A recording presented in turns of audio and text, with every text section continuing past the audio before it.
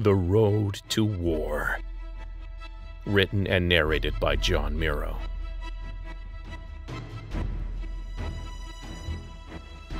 Get more at servingworlds.com. 33. Lee studied his team. Scott Kincaid had one hand ready on the door, wiped sweat from his face with the other. Angel crouched a foot behind, face all concentration, weapon in his hands, hot.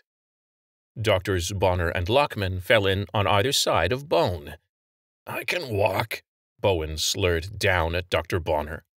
His current walking partner was red faced and straining under Bowen's outstretched arm, but Lee could see the soldier was struggling just to stay conscious. Stow it, Bone, Lee ordered, as if he'd been ordering him all his life. And just as if Bowen had been taking his orders all his life, he stowed it. Yes, sir. Lee pointed at Scott. The terrified doctor cracked the door wide, then jumped back as Willard limped out, weapons sweeping up and all around. Sweep complete, Willard nodded back at Lee. Go, go, go, Lee whispered, putting some steel in his voice, and the line moved out the door. Lee balanced in a low crouch, turning 360 degrees as he ran. The roof of the pod was empty, as were the spaces around the pods to the left and right. By previous agreement, the group crossed straight to the far wall.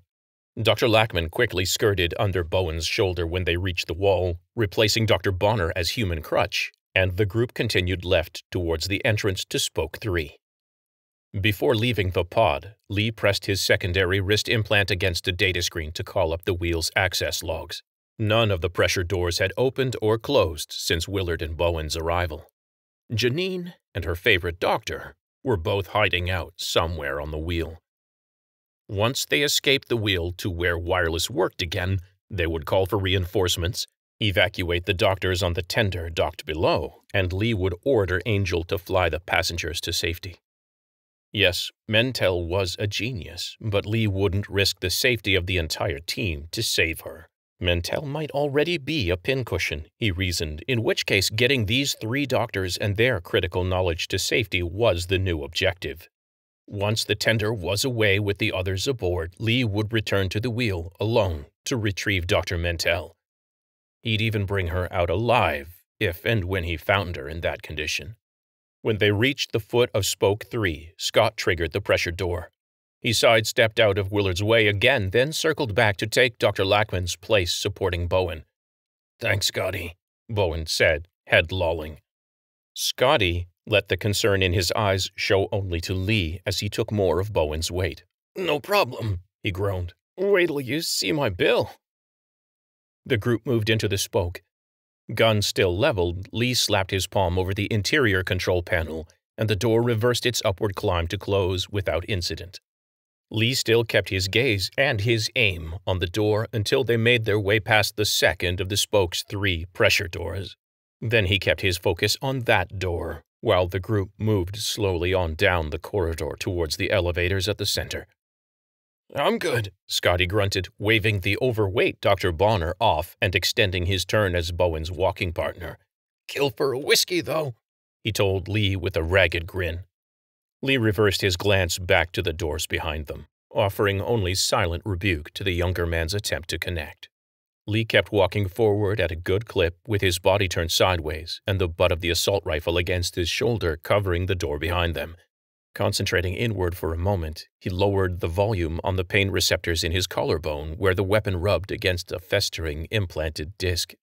A vision of some moment in the long past flashed through his mind. It was Scotty, dabbing antibiotic ointment over that very emitter.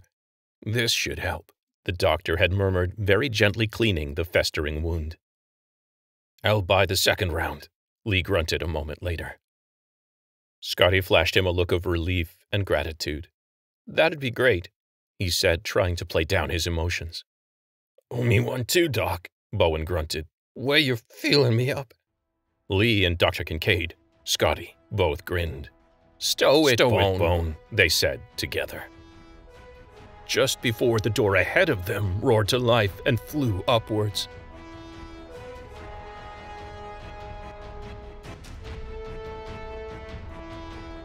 You have been listening to Reach The Road to War. Written and narrated by John Miro. Music All This by Kevin MacLeod at Incompetech.com. Hear more of the story at servingworlds.com. Thank you for listening.